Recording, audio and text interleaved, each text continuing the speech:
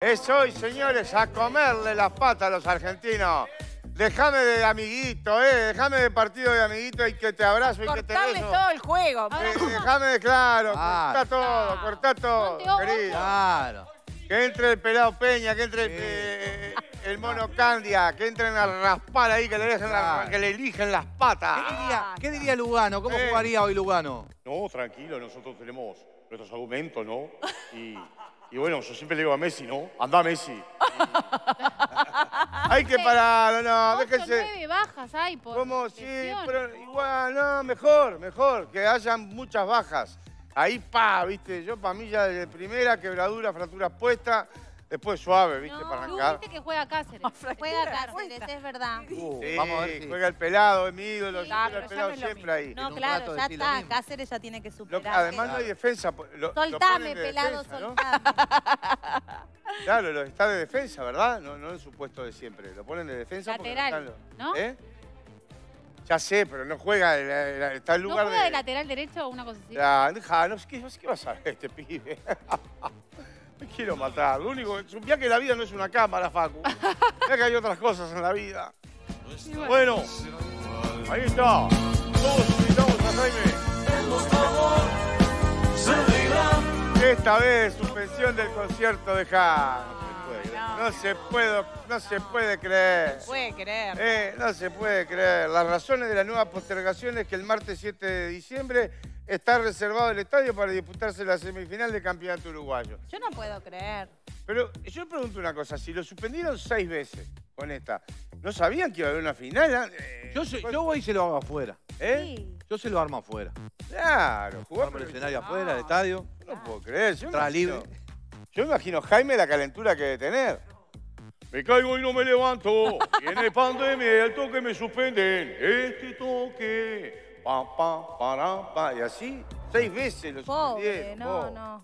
Me dije espero un año y empeoró todo el cobicho y me suspende. Ah. Estaba todo arreglado. La cesta es la vencida.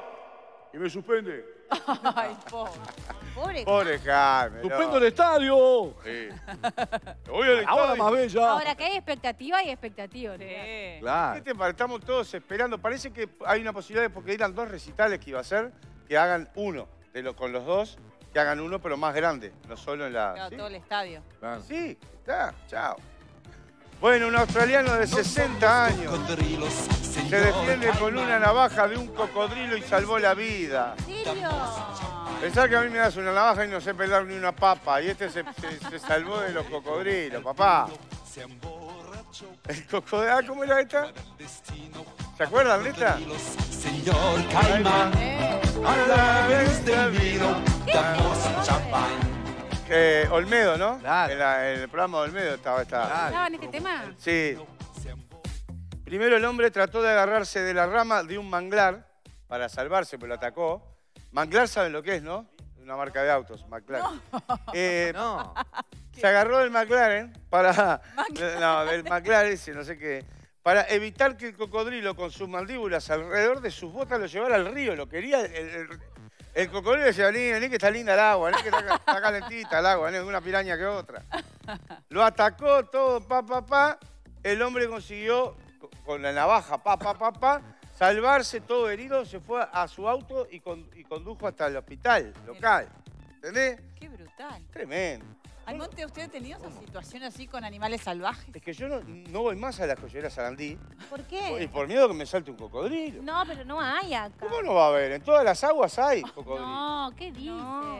Eh, Cocodrilo capaz que no, pero yo ahí en, escollera Sarandí, una vez, me- ¿sabés qué me pasó? ¿Qué, ¿Qué? le pasó? ¿Qué me saltó? ¿Qué le saltó? Un tiburón blanco. No, Monte. Después tiburón uno blanco. colorado y después uno del Frente Amplio, por eso te digo.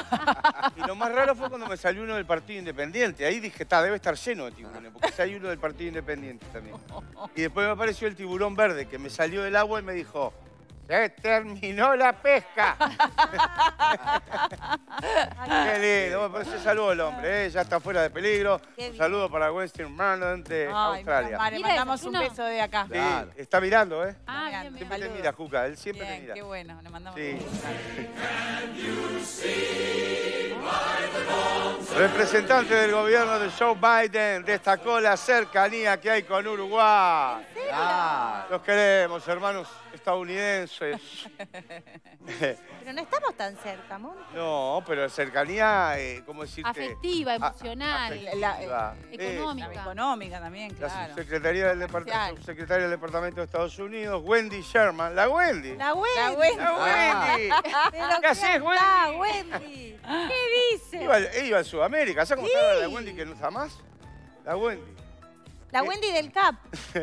Se reunió este martes con la calle Pau. Estamos muy cercanos a Uruguay y Uruguay muy cercano a Estados Unidos. Bueno. Qué lindo, comentó Sherman. Ah, ¿te acordás de ese dicho que dicen los mexicanos, no? ¿Cuál? ¿Cuál? ¿Cómo cuál? Pobrecito México, ¿no viste que siempre dicen, pobrecito México, tan lejos de Dios y tan cerca de Estados Unidos? ¿No viste que dicen eso? Siempre dicen eso. A mí te da un miedo Estados Unidos. ¿viste? Estamos cerca, pero decís, pa, ¿con qué vendrán estos? Como me dijo un amigo mío, me dijo un dicho que yo lo... lo- me dijo, mirá, mirá Montelongo, dice, yo soy comunista, pero si llegan a ganar los comunistas me voy a vivir a Estados Unidos. es buenísimo. Yankees go home. Yan- pero llévenme con ustedes. Vayan.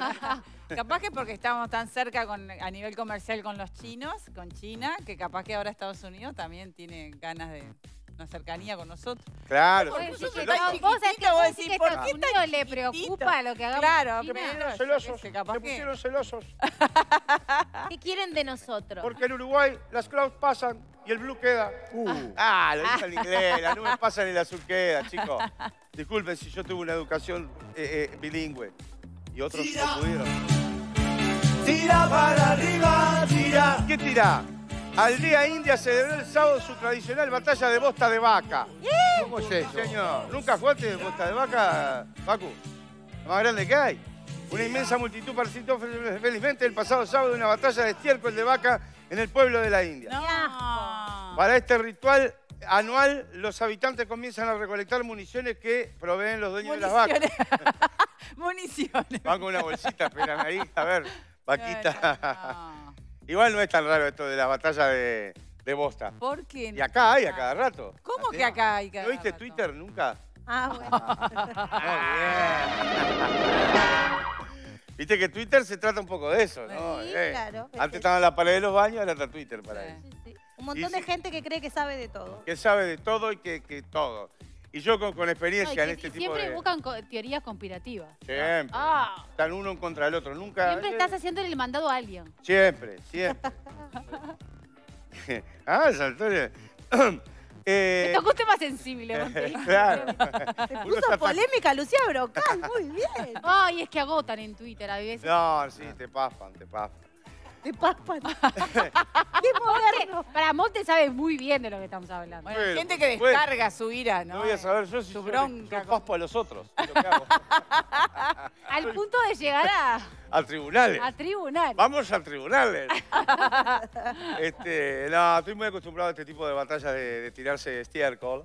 ¿Eh? Porque ustedes saben que yo me crié en el campo, en los campos de papá. al- en el campo de su padre. Y en el campo donde estuve más, que era el campo chico, había 1.500 eh, cabezas eh, de ganado en ¿En pie. el Ajá. chico? Eh, 1.500 cabezas de ganado en pie. Eh, No, todos en pie no, a veces se acostaban a dormir también, ¿viste? Porque si no se cansan. el qué guarango. Y entonces nos tirábamos con, no sabes qué divertido, que era tirarnos con bosta. ¿Viste? ¿Eh? Claro, es un juego de campo. Qué asco. Pero como yo era el, el- bueno, el hijo, por supuesto, yo le decía, papá, encerrame 20 o 30 peones. Yo los ponía en, en el... Ay, no, Monte, qué horrible. ¡Qué horror, por favor! Y yo les tiraba. Diciendo. No. Con la avioneta No. les tiraba, ahí no, No, me pueden no, tirar. no, a-. Con la No. avioneta, Sí. ¿qué habla? Y papá me decía, bien, vas aprendiendo, vas aprendiendo. Ay, es el peor, Ay, qué horror. Monte. Estaban en negro. No, no, no estaban en negro. Estaban marrones por ahí. Brasil es un país con los hombres más altos de América Latina. Los hombres más altos de América Latina encabeza el país, eh, con hombres más altos según según NCD Risk Factor Collaboration. Claro. Y si lo dice la NCD Factor Collaboration, Eh, hay que hacerle caso. Claro. ¿cuál es la altura promedio del hombre brasileño? en el quinto lugar está Paraguay, por Ajá. ejemplo, con un promedio de 1,74. Mirá. Costa Rica con 1,74,1, ponele. Ajá. Tercer Uruguay con 1, un metro set- 74,3. Sí, sí. Sigue Argentina con 1,75 y primero Brasil con 1,76. Primero y en la lista. Pero uno Mirá. 1,76 no es tan alto igual. No, pero es el promedio. Promedio. El promedio. ¿Y qué será? ¿La alimentación? ¿El calor? ¿Qué- Es el Bauru, todo a base de Bauru. Ah, Cachorro quente. cholo, ¿no? O ticholo, combinação da cerveja, ticholo, Bauru, não se va para rir. Eh, estos datos son sobre la altura. Ajá. Sobre otras partes del cuerpo, ¡Vamos, los varones uruguayos estamos más arriba. ¿En serio? Claro, si un día falto yo, eh, Dios no quiera, Dios libre y guarde, se baja el promedio Ah, del dedo meñique, decía yo. Ah, ¿qué estaban pensando?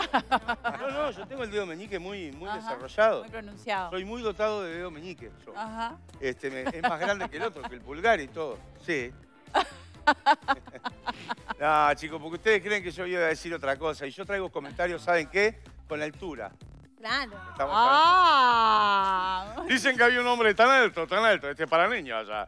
Que había un hombre tan alto, pero tan alto, que cuando tomaba un yogur, ya cuando llegaba al estómago llegaba vencido. no. ¡Muy bueno, Señores, me voy hasta dentro un rato porque tengo que ir a despertar al vago de Angiolini que debe estar ya con la excusa del carnaval adelantado. Pero ya les digo que el primero de diciembre estoy en la trastienda, una nueva función. Están las entradas a la venta. ¡Bravo! Con... No, nunca es la última. Ojo, no le pongan partido de fútbol, ¿eh? Primero de Es como diciembre. Se Ah. renueva. Están todos invitados. Los que ya fueron pueden ir otra vez. Y los que no fueron, como vos, pedazo un botón, podés ir. Te voy a poner en una VIP con todo, con burbujas, Ah. champán, una, un jacuzzi. Lo vas a ver en jacuzzi. ¡Ay! ¿Entendés? Claro. Así, te, lo mere- te mereces esto y mucho más, chiquilín. Primero de diciembre, la trastienda. ¡Vamos, que ya venimos! Vamos que venimos. Está loco de atar. Vamos que venimos. Qué linda que está, Ay, vocal. Como todas las gracias.